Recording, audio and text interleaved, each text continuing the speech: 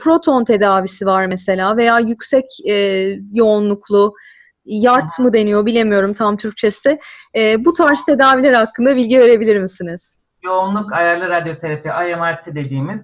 E, yani demin söylediğim gibi cihazlar artık e, tümöre maksimum dozu vermeye ve etrafındaki normal dokuyu da maksimum koruma amaçlı e, bir gelişme sürecinden geçiyor. E, IMRT bunlardan bir tanesi. IMRT dediğimiz yoğunluk ayarlı radyoterapi. E, siz de bilirsiniz ki bir tümör normal e, bize düzgün sınırlarla gelmez hiçbir zaman. Yani bunun uzanımları olur, e, kemik dokuya ya da çevre dokulara e, yayılımları olur. Mikro çevresi, mikro çerçeve, mikro çevresi dediğimiz bölgede e, kendisine ait damarlanmaları olur. Biz bunları e, görüntüleme eşliğinde hast e, tümörün şekline göre bir e, volüm belirleriz. Ardından buna da uygun minimal artık cihazlarımız iyi olduğu için minimal marjları, güvenlik marjlarını verip tedavi ederiz. Ve bu IMRT teknikleri bize normal dokuları çok daha iyi korumamıza e, neden oluyor. Ve e, istediğimiz gibi tümöre yüksek doza çıkabiliyoruz.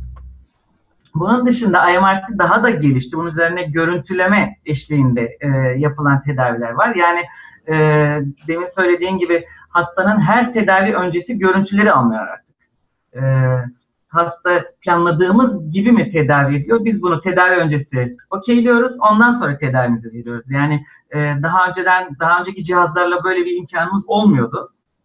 Fakat bu yeni cihazlarla artık tamamıyla her gün hastanın tedavi volümü sabitlenip ve belirlenip tedavisi veriliyor.